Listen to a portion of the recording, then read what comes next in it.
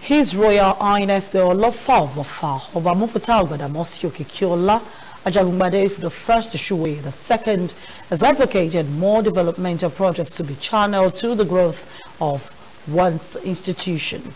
The paramount ruler who said this during the commissioning of the National Secretariat at the Federal Polytechnic Offa main campus urged everyone to always give back to the institution who made them somebody. The monarch, who was accompanied by his high chief, said he was privileged to commission the project of his ex-students, sons and indigenes of Offa. While appreciating the royalty, the rector, Dr. Lateef Ademola Olatunji, applauded the paramount ruler of Offa for the rare honor granted the Polytechnic to commission the Alumni Association National Secretariat.